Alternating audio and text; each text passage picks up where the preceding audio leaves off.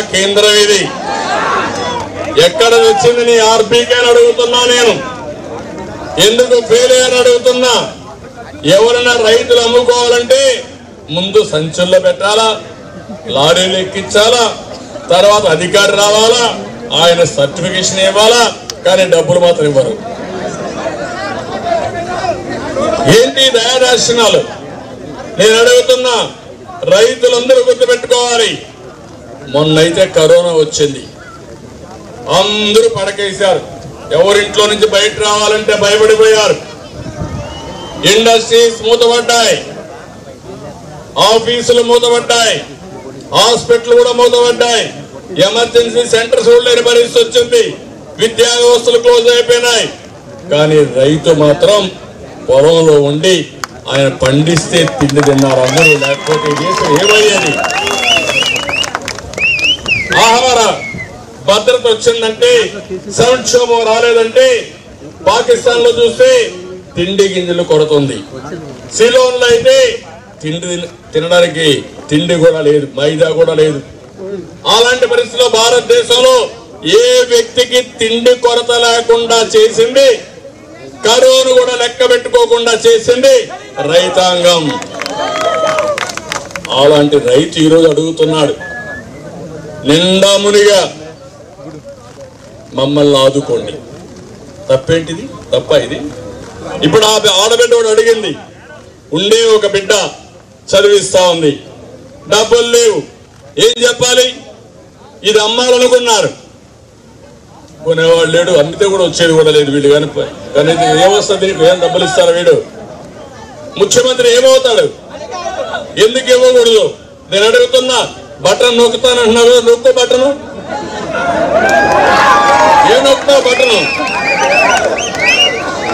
అవసరమైనప్పుడు బటన్ నొక్కు కానీ ఒత్తొత్తే బటన్ కథలు ఎవరికి కావాలి. నేను అందుకనే మిమ్మల్ని అందరినీ కోరుతున్నా ఈ రోజు ఉంటా. సంచులు పంపేయడం కాదు ఒట్టొట్టి సంచులు కాదు. చిల్లులు పడిపోయిన సంచులు కాదు. ప్రతి రైతు పండించిన పంట గిట్టుబాటు చెప్పారో ఎంఎస్పి. పదహైదు వందల ముప్పై రూపాయలు ప్రతి ఒక్క రైతుకి ఇచ్చే వరకు తెలుగుదేశం పార్టీ నీకు అండగా ఉంటాం. మిమ్మల్ని ఒకటే కోరుతున్నా నేను వచ్చానంటే ఆయన ఏదో ఓట్ల కోసం వచ్చాడు కాబట్టి మేము ఇంట్లో పడుకుంటాం. ఆయన్నే పోరాడుకొని కేసులు పెడితే ఆయన పైన పెట్టని. ఎందుకంటే ఇప్పుడు పద్మావతి మాట్లాడింది ప్రభావతి. ప్రభావతి గారికి రేపు పోలీసులు వస్తారు వాళ్ళ పార్టీ మాట్లాడింది కాబట్టి కేసు కేసు పెట్టేస్తారు. అంటే ఎవడు ఈ రాష్ట్రంలో ఈ దేశంలో నోరిప్పకూడదు. ఎవరు వీళ్ళని విమర్శించకూడదు. మనం సచ్చినా ఆత్మహత్య చేసుకోవాలి తప్ప ఒక్క మాట మాట్లాడడానికి లేదు. ఎక్కడ న్యాయమయ్యేది ఎన్ని వేల కేసులు పెట్టారు? ఇప్పుడు కూడా రాత్రికో రేపు నా దగ్గరికి ఒకసారి పోలీసులు లాగిపోయారు వాళ్ళకి సార్ మేము కూడా కేసు పెడతా పెట్టమన్నా. ఏం పీక్కుంటారో పీక్కోమంట. నేను ఒకటే మిమ్మల్ని అందరినీ కోరేది. నిన్ను కూడా ఒక ఆయన బెదిరిస్తున్నాను నన్ను. ఏదో నన్ను అరెస్ట్ చేస్తానంట చేసుకోరని చెప్పాను ఏం పీక్తావు చూస్తాను నీ కథ అని చెప్పా. నేను ఒకటే మిమ్మల్ని కోరేది.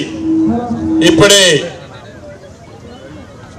మన ప్రభావతి గారు చెప్పినట్టు ప్రతి ఒక్క రైతులో చైతన్యం రావాలి. మీ న్యాయమైన కోర్కు కోసం గళమిప్పాలి పోరాటానికి సిద్ధం కావాలి. మళ్ళీ ఈ ప్రభుత్వాన్ని మెడలు వంచి ఎక్కడో దాంకున్న ముఖ్యమంత్రిని కూడా ఇక్కడికి రప్పించి మీకు న్యాయం జరిగే వరకు నేను మీకు అండగా ఉంటా. నేను డిమాండ్ చేస్తున్నా ఈ మీటింగ్ ద్వారా. ముఖ్యమంత్రిని కానీ వ్యవసాయ మంత్రి కానీ ఎమ్మెల్యేలు కానీ ఎంపీలు కానీ మళ్ళా మిమ్మల్ని అందరినీ తరిమి తరిమి కొట్టే పరిస్థితి లేకుండా వచ్చి మీ బాధ్యత మీరు నెరవేర్చండి లేకపోతే రాజీనామా చేసి మీరు రాజీనామా చేయండి. ఈ రైతుకు న్యాయం ఎందుకు జరగదో నేను చూస్తానని సవాలు విసురుతున్నా. సవాలు తీసుకునే ధైర్యం మీకుందని అడుగుతున్నా.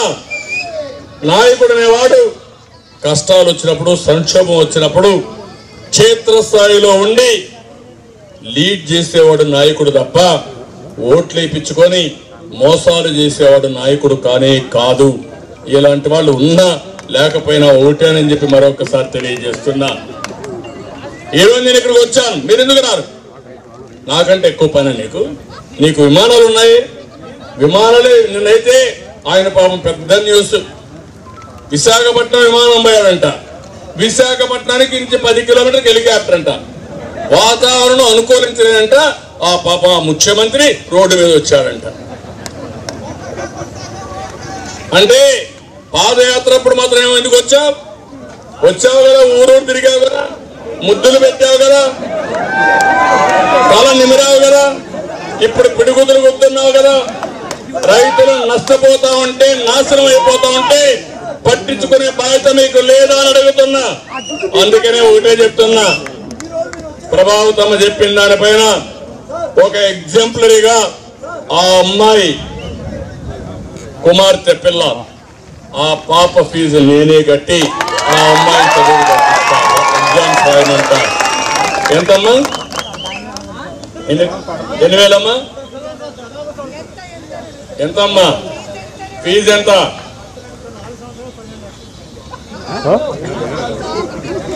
ఇప్పుడు ఇప్పుడు కట్టాల్సింది. రెండు లక్షల ముప్పై వేలు ఆ రెండు లక్షల ముప్పై వేలు నేనే ఇస్తా. చూద్దాం. నేను ఇక్కడ పార్టీ చూడలా వ్యక్తులు చూడలా. కాదమ్మా ఏ వ్యక్తులు చూడలా? ఈరోజు కష్టంలో ఉండే ఒక ఆడబిడ్డ జీవితం కోసం నేను చేయాలనే బాధ్యతగా నేను చేస్తాను అందరికీ చేయలేకపోవచ్చు కానీ ముఖ్యమంత్రిగా ఉంటే ప్రతి ఒక్క వ్యక్తికి చేసేవాడిని. ఇప్పుడు కూడా ఇస్తున్నా థ్యాంక్ యూ ధైర్యంగా ఉండు విఆర్ విత్